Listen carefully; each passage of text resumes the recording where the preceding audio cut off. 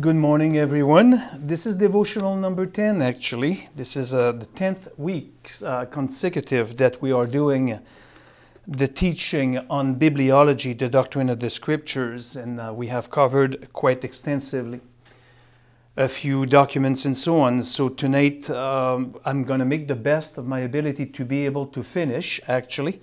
Welcome to those who are in class with us, and welcome to those who are committed so faithfully to follow us online. Why don't we start with a brief, a few seconds of silent time, and then a word of prayer, and then we'll carry on on our studies on canonicity and authority.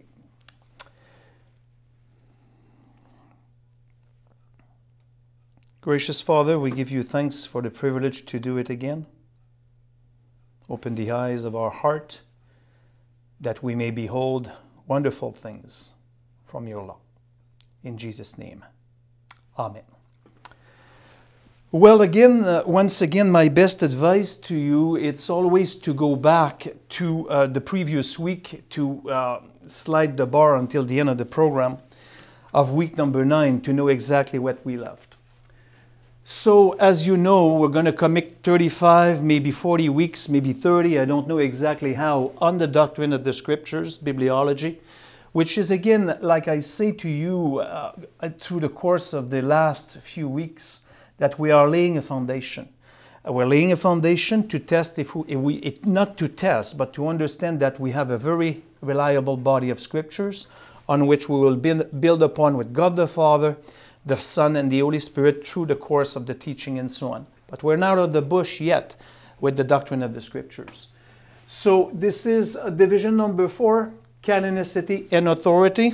You can tick mark definitions. It's covered completely. Basic foundations covered completely as well. If you want to know everything about these things, you just watch the previous videos. Test of canonicity behind us as well.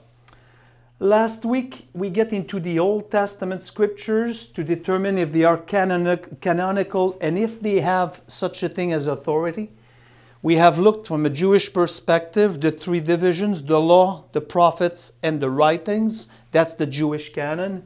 And we're still laboring there. That's why this is underlined in red. I would try to finish this today, cover this, and cover the disputed books as well. So uh, we might go a little bit longer today, maybe 40 to 45 minutes. So sharpen your pencils. I will repeat the scriptures twice and so on. And then we follow the same format. Under the Old Testament scriptures, we look are they genuine? Do they bear credibility? And are they canonical? And we will do the same thing with the New Testament. We will use the same format here. And these are two words that I will explain under capital F, the disputed books, homolegumena or antilegomena. I will explain to you what it's all about concerning the canon. So right now I'm committed to finish. That's where we finish uh, last week, and now I'm committed to carry on right there. Would you turn with me in the book of Luke? Luke's account, 24 to 44. The book of Luke, the book of Luke, chapter 24 to 44. Just a, a, a note for you about 44. We still carry on under the canonicity of the Old Testament. The book of Luke 24 to 44. It says this Now he said to them, These are my words which I spoke to you while I was still with you.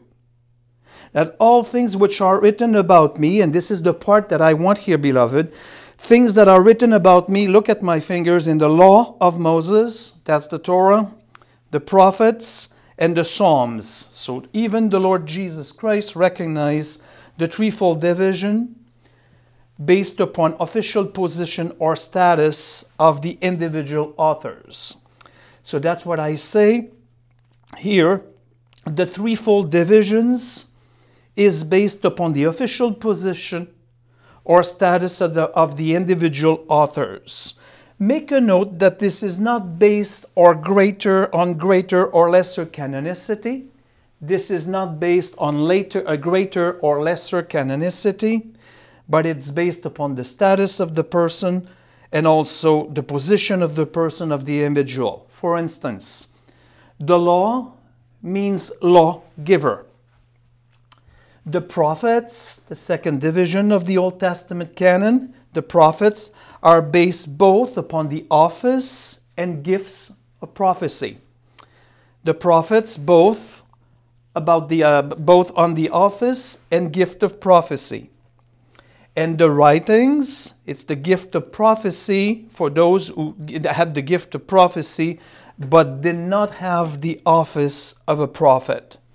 So this is how it works. It's not based upon greater or lesser canonicity or authority. It's based upon law giving.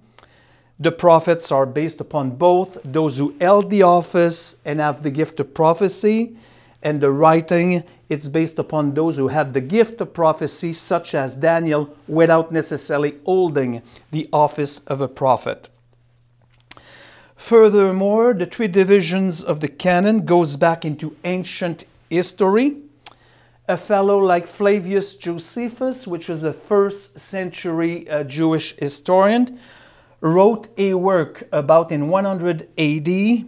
His work is against Apion, against Apion, and he says this quote, he says there is no canonical writings since Malachi.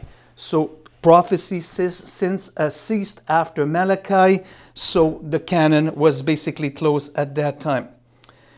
It's in the word against in the work against Apion in chapter 1 verse 8. No words of prophecy after Malachi. Philo, from which we have the word a philosophy type of thing. Philo in 40 AD did mention also, beloved, the threefold division. The New Testament also recognized the threefold. Matthew chapter 23, verse 35, Luke 11, verse 51, and the famous Luke that I just gave you, chapter 24, verse 44, mentioning the two divisions the law, the prophets, and the Psalms, it doesn't say the writing. It's because sometimes the first book of the division, the division is named after the first book. So the first book of the writings here is the book of Psalms, and that's why Luke goes with the Psalms and so on. Another point concerning all this, concerning the canonicity, is the Septuagint. The Septuagint is a work that was completed in 250 BC 250 BC. The Septuagint is the Greek translation of the Old Testament, and it does recognize the three divisions of the Jewish canon. So maybe what is very important for you to make a note right now, it's by 300 BC. By the year 300 BC, the canon of the scriptures was closed. So when you ask yourself maybe a question, what kind of a Bible the Lord Jesus Christ was using in the first century Israel, the canon was closed. So the Jewish people of the first century, when Christ Jesus came, the canon was closed. So and on the scroll they had the three divisions of the Old Testament. Because by 300 BC, the Old Testament was closed and divided into the three parts that you have the Torah, the prophets, and the writings. Now, maybe the last questions concerning that before we embark into the New Testament canon. How do they collected the canon? How the canon was put together? How was it collected? That's your question because we have 39 books. Even if the Jews they have a different order, the quantity of book is the same as the Christian order that we have because the Jewish canon goes from Genesis to Second Chronicles. We have learned that together. In the Christian order, goes from Genesis to Malachi. But the amount of books are the same, despite the fact that the Jews, the first and second Samuel for the Jewish people is one book, for us two books, but that does differ that much, and it's not really a big deal. So the major concern is Ezra, of your book of Ezra. So the uh, collective, uh, the collection of the canon basically began with Ezra of your Bible of the Great Synagogue. That's what we call the Sanhedrin, the Great Council, about the 5th century BC. Ezra is called the scribe in Nehemiah chapter 8, verse 1, verse 4, and verse 9. And also in, in Nehemiah chapter 12, verse 26, Ezra is called the scribe. And also in Ezra chapter 7, verse 6, he is called in chapter 7, verse 6, a scribe of the law of Moses. So it began with him. And the threefold division was recognized by the New Testament. I just said it in Luke 24 44. And the Old Testament has genuineness, credibility, as you follow on the board, and canonicity. And it was determined, it was basically approved by the Council of Yavne in 9080. The Council of Yamni or Yamnia, if you want to, sorry, Yamnia. It was called this way before Yamne. Yavne basically is a city in Israel. So in 1980, the Jewish canon was completely closed and recognized and so on. I don't know if you follow me, but again, the best way to go with these studies, beloved, is always to go back towards the end of session number nine, uh, the, the session number nine of, of the scriptures and so on. So if you follow one by one, that's the best way to go for you to get the most of it because you know that this is extensive this is not only a basic Bible study, but this is a place where we get grounded and we go in depth. We're done with this. You can tick mark this. Now we get into the New Testament. And if you follow me, basically to help you out, we can get rid of all this for the time being. And now we go back. New Testament, and we use the same format. Genuineness, does it have credibility? Is it canonical? That's what we look at right now concerning the New Testament. This will be slightly less extensive. So once again, genuineness, genuineness emphasizes authenticity. Authenticity. Make your note. The gospel were uttered, the four gospels account were uttered by the people that bear their name. Matthew was written by Matthew, easy enough. Mark by Mark, Luke by Luke, and John by John the Apostle. There is a letter by a fellow called Polycarp. Polycarp was a disciple of John the Baptist, by the way, and he is one person of the church father, Polycarp, Polycarp basically, that, that, that testified that the authors of the gospel were really the people that wrote their gospel. You can Google Polycarp, P O L Y C A R P, and you will find that person online and so on, and uh, you will have more information concerning that person. As we carry on, Acts was written by Luke.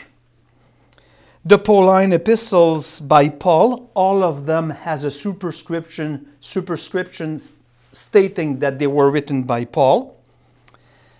Then we have the general epistles. All of them has superscriptions. All of them do have superscriptions except the book of Hebrews because the book of Hebrews in your Bible, we simply don't know for sure the author of the, uh, of the book of Hebrews. The famous book that one day we'll teach online too, uh, time allowing and God's allowing, the book of Revelation was written by John the Apostle. And all the books, we still look at that genuineness, all the books were accounted for, the books of the New Testament, the 27 books. We have 27 books in the New Testaments, were accounted for by the year 115 CE or AD, except for 2 Peter, Jude, 2nd and 3rd John. I will come back to that. So all the books were accounted for except from 2 Peter, Jude, 2nd and 3rd John. This style was very much like the first century style of literature of these books. And we have also, to prove the genuineness or authenticity of these books, we have historical allusion in the person of Herod, Herod Agrippa, Festus, Felix, Pontius Pilate, Herod the Great, and so on. These, per- these people, beloved, we cannot miss the mark. When you go with Herod Agrippa, Herod the Great, Herod Agrippa, like I just mentioned, Felix and Festus, Nobody can deny, beloved, that these people were truly in existence. So, once again, as I move on, I want you to develop a good relationship, of course, with the Lord, but to trust the Bible that you have. When you get a good translation, we have a very trustworthy body of written truth. Credibility concerning the New Testament. You follow me? We've looked at this in the exact same way that we did the Old Testament. Now we get into the credibility. What does this emphasize? If you are credible, you are truthfulness. So the New Testament. Just four comments. They were given by competent witnesses. These guys were authors of the New Testament, they were competent people. They had the opportunity to observe and to investigate. Luke put his gospel together by means of investigation. They have the opportunity to observe what was being done by the Lord Messiah for those who were eyewitness and to inquire, example by Luke. They were men of discernment. These guys were not easily deceived. Matthew, John, and Peter were eyewitnesses. They witnessed miracle, they walked with Christ, followed the Messiah. Mark was the interpreter of Peter. Luke was a companion of Paul and received Paul's authority as an apostolic, apostolic legate. Paul, the famous Paul of the second circle of the, of the, of the uh, um, apostles, were basically appointed by Christ himself. Reference Galatians chapter 1, 11 to 17. James and Jude were half brothers of the Lord Jesus Christ. They were uh, uh, honest witness, witnesses because their testimony, when they put these gospels together, it was against their advantage. So they were not tri- the trickful type of thing. They were not trying to fool the people because writing such a thing back in the first century was to the cost of their lives. So they were indeed honest witnesses. And they also did show themselves in uh, not favor- favorable light. They also record their own shortcomings. So if you would write a book uh, about yourself, uh, you can deter the flaws that you have, the mistakes that they did. But they recorded themselves and they showed themselves not always in a favor- favor- favor- favorable way all the time. Uh, thirdly, maybe harmonization. They supported each other. The writer that supported each other. Their difference shows a lack of conspiracy. Their difference does not show any divisions and so on. It shows basically it's, they supplement one another. They do not contradict one another. The gospel writer, despite the fact that they record things differently, we will see that if we do the life of Christ one day from A to Z, but their difference in style does not show contradiction. It shows instead supplement. Synoptic. Do you know the word synoptic? Mark, Mark, Matthew, Luke are synoptic. It means that they are a summary. John fits well with the other synoptic writers as well. Acts lays the basis for the Pauline epistles. The book of Acts lays the basis for the Pauline epistles. And all the others harmonize accordingly as well. They bear also conformity. They conform with all historical circumstances that we have. They conform with secular history. For instance, Quirinius, Herod the Great, like I mentioned, Herod Agrippa, Herod Philip, Archelaus, Gallio, Festus, and Felix. Okay, that was credibility. Once again, might go fast a little bit, but online, not the students in class though. But you guys online on YouTube, you can always rewind, pause me to finalize your notes as well. Now we take the canonicity, number three. Canonicity means authority. Authority as being the words of God, basically. When these books were given, there was an immediate recognition of divine authority in them. Would you make your notes references?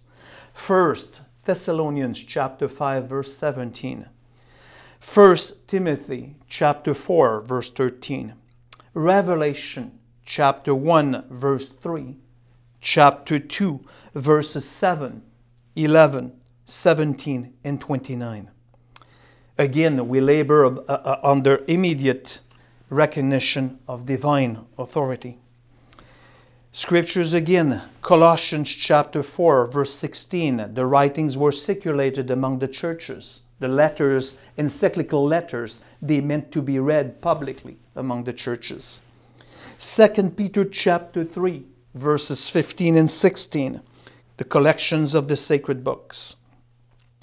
By the end of the second century, all but seven books were reconciled and accepted.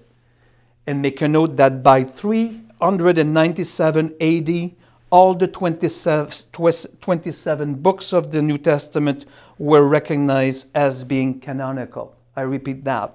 By 397 AD, Common Era, of course, all the 27 books were recognized as being canonical. I just made a statement right now.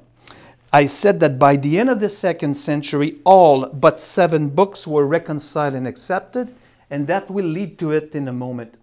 So you can take a deep breath right now. I'm going to try to finish the teaching because we come to this right now and we will be done with canonicity and authority. That was extensive, beloved, but I need to do it once again. Before we get in theology proper, Christology, the doctrine of the Holy Spirit, we need to be grounded. It is imperative to be grounded nowadays in the church age to recognize that we have a very trustworthy uh, 66 books of the scriptures. And that's how we find that out. Recognizing history, going through the tedious together, and embrace that kind of stuff to build our theology together, not to be misled by any wind of doctrine that goes around nowadays, even within the church age. So I know you understand these things, and I know that you treat these things, uh, beloved, as being very precious. We get into that right now. Are you ready? Just two words that could be a little bit difficult. Disputed books type of thing, because I said to you that some books were not were, were, not, were disputed and so on. Homologumena. Homologumena. Let's go it for a third time for your sake. Homologumena homologumena, you can slash it here. This is a word that means confessed. We're talking about books here. This is a word that means confessed. Or recognize if you want to. In the Old Testament, in the Old Testament of 39 books, 34 were confessed. 34 were confessed. In the New Testament, out of 27 books that we have there, 20 were accepted also and confessed. So that's why this word here, homologumena, means confessed book. Number two, antilegomena goes with this one. Antilegomena goes with the one uh, uh, above. This word here means spoken against spoken against. That's the book that is spoken against. Okay? It was basically put here that these books were debated prior to their acceptance. It took longer time to insert them in the canon. That's exactly what we mean by that. Homolegumena, they were confessed right away, but antilegumena, they were spoken against for a reason that I just give you right now as we close soon. They became part of the canon, but it took a longer time. They were spoken against. Okay? They were spoken against by Yavne, by the Council of Yavne in 9080. Which book were spoken against? Song of Solomon. Song of Solomon, Song of Songs, because of its erotic flavor. It has a sexual connotation, so it became inserted in the canon later for the very reason that I gave you.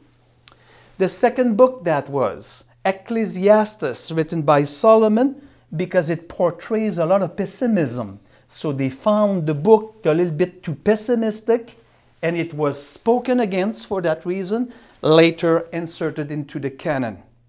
The book of Esther, because God is never mentioned in the book of Esther. You don't find the word God in the book of Esther. And it was disputed for that reason, spoken against. Proverbs, the book was Proverbs, was spoken against because a, an appearing contradiction in Proverbs chapter 26, verse 4. Proverbs chapter 26, verse 4 seems to contradict verse 5, and for that only reason, it took a longer time to insert that into the canon. Ezekiel, that I cherish a lot because of his description of the temple, sacrificial system, and so on, took a longer time to be inserted in the canon, mainly for the doctrine of um, replacement theology and also uh, amillennialistic perspective and so on. Uh, that's why basically this book took a longer time to be accepted. So you see, the five books of the scriptures became canonical, they became disputed books, and later on they were inserted in the canon. It's going to be a longer session. I know you bear with me, beloved. Let's talk about the New Testament. Seven books were antilegomena books. Hebrews, number one, was spoken against because of the uncertainty of the author.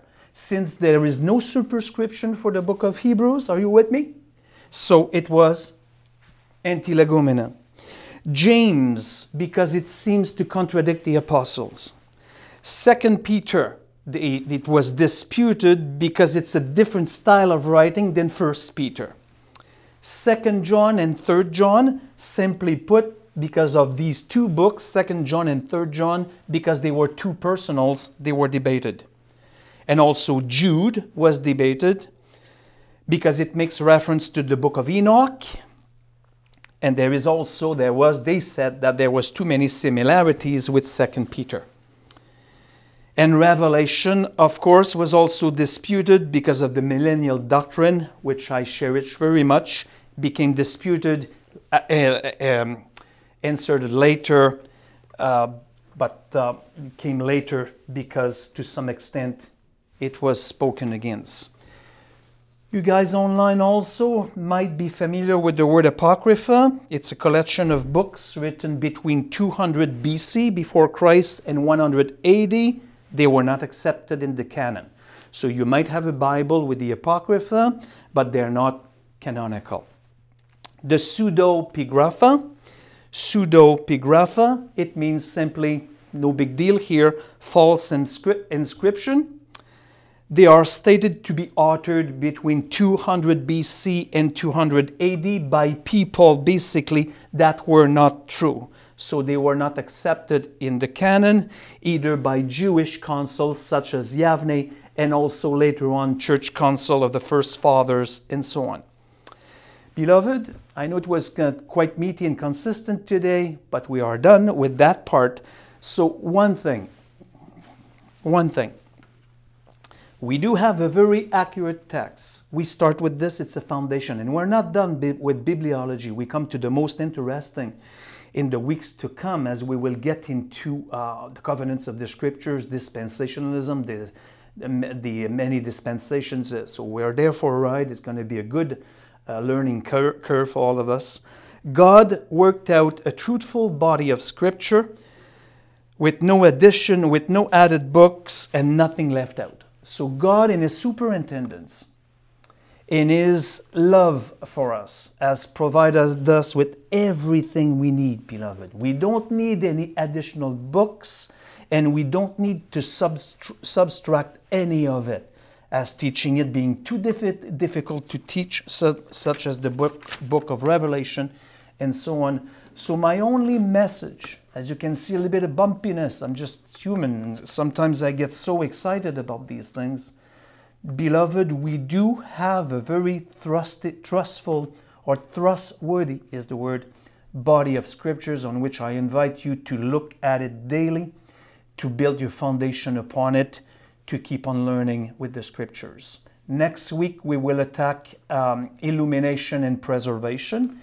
As we continue, we'll spend most of the 30 some weeks, maybe 40 weeks, in the doctrine of the scriptures and so on. At this point, a very light, gentle reminder to support the ministry. When you go on the website where you find these devotionals, you have a button. You can give through PayPal, you can give directly by mail. You have all the tools necessary, beloved, to follow through with your support in prayer, with your support for this location that will have will undergo some changes soon. So we trust you for your stewardship in it. We thank you for your patience with TSM. We know it is extensive, and we are committed to pray for your growth with these things. Let us pray.